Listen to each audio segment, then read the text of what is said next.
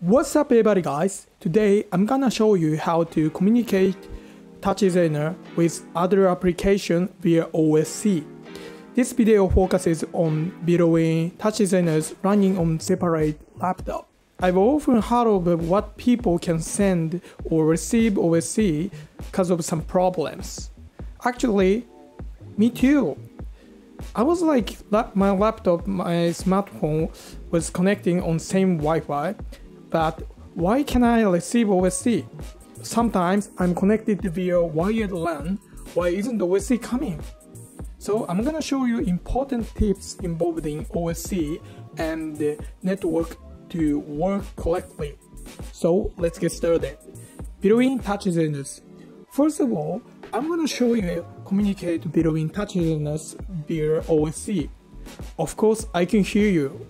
What you want to know is what is OSC, right? To explain OSC completely is quite complicated, so I'm gonna pick up important part and explain as you can understand easily. What you have to know is that it is available to send and receive text numbers like an integer or a float in the same network. I assume that one touch designer is running in PCA and another touch designer is doing in PCB. Both laptops are on the same network via Wi-Fi or wired LAN.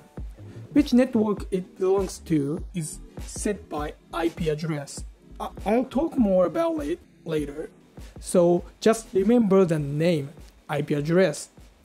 And then if they are on the same network, they can send and receive the data. That's it. You don't have to remember official name of OSC and its history, but you have to see how it works. Let's jump into Touch Designer. Yo, Touch Designer on the right is running in Windows, on the left is doing in Mac. Next is super important part of this tutorial. It's about network security. Seems boring topic though. Now both PC in connected via same Wi-Fi. This one. And this one. This is my house house's Wi-Fi. If both computers is on same Wi-Fi it is supposed to be able to send OSC but home Wi-Fi is uncertain about network security your Wi-Fi might have some security problems as well so I highly recommend to use a LAN cable but I know most of you doesn't have it. This time, I'm gonna use mobile hotspot. This one. That can make your laptop be an access point. I'm gonna go to the Wi-Fi and turn on the mobile hotspot. So switch to the uh, Mac, switch into the Mac. I'm gonna connect the Wi-Fi.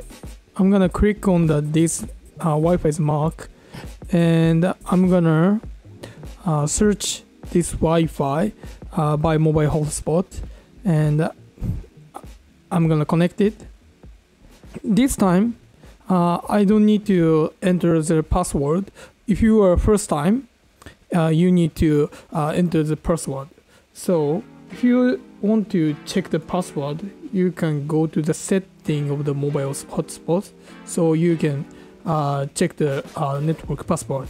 So they are on the same Wi-Fi without any problems. And we need to allow your touch designer to communicate in firewall settings. So you should check on the private and the public uh, you haven't yet. Uh, firewall. This page. I'm gonna check the touch designer. Touch designer. Touch designer. Yeah, I already checked the uh, private and the public, so you should do that. Yeah, Mac OS as well. Go to the network uh, setting and this firewall. Turn off the firewall. Okay. Finally, I'm gonna talk about OSC. When we use OSC in TouchDesigner, we're supported to use OSC DAT. Yeah, it has OSC chop as well, uh, but I don't recommend to use it because it can't communicate with other applications. This time, I'm gonna send message from Windows to Mac. I'm gonna uh, delete all, all the node and press uh, Control A, select all the node and delete and Mac as well.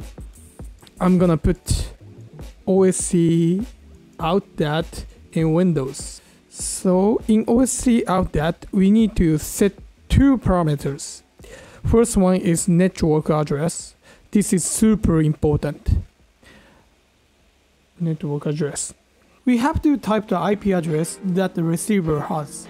So let's take a look at Mac's Mac's IP address. I'm gonna go to the network icon and go I'm gonna go to the uh, network setting and select the Wi-Fi. If you are uh, connected by LAN or Ethernet, uh, you should the other uh, communication way and go to the details. Click on the TCP slash IP. This IP4 address uh, means IP address that I had coded. Let's type into the uh, OSC DAT 192.168.2.144. Okay. Second one is port. Uh, we need to specify the same port to send OSC.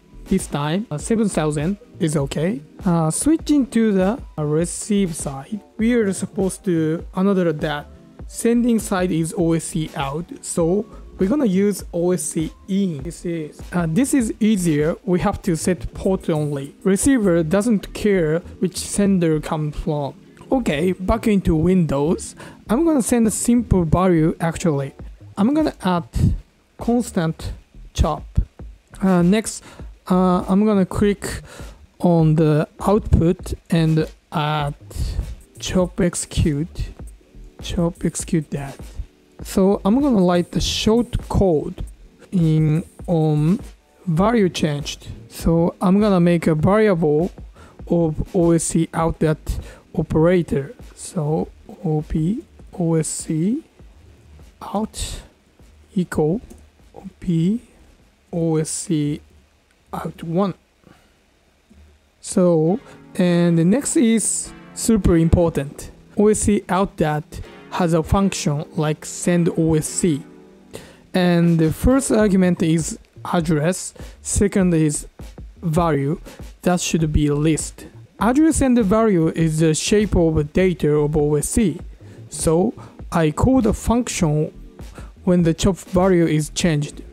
So I'm gonna write the code op osc out dot send OSC and the first argument is uh, address this time slash test and second one is value so that should be list and this time list var.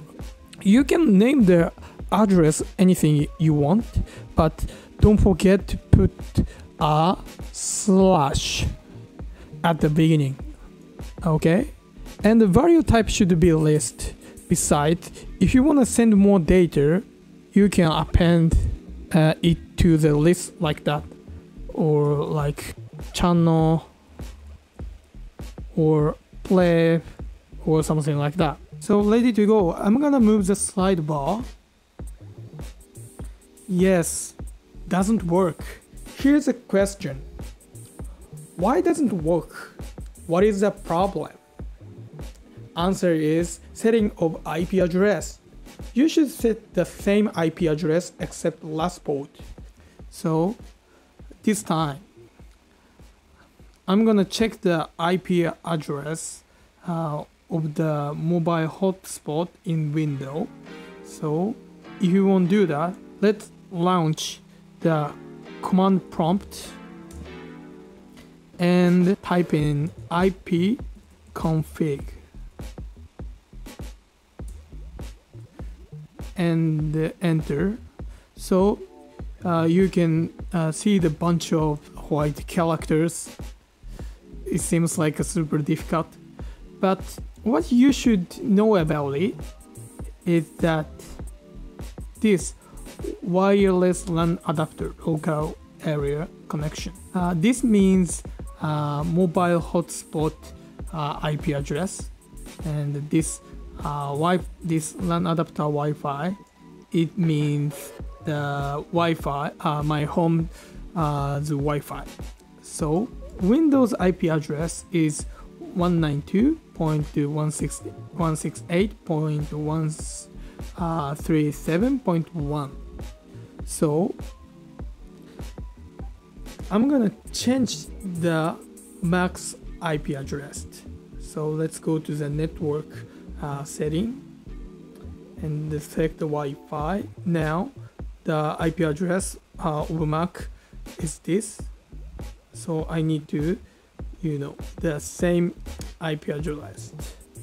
So it's gonna be uh, 192.168 and 137.1 is not correct because uh, last part is gonna be uh, different uh, from Windows 1 so I'm gonna choose the 2 and apply.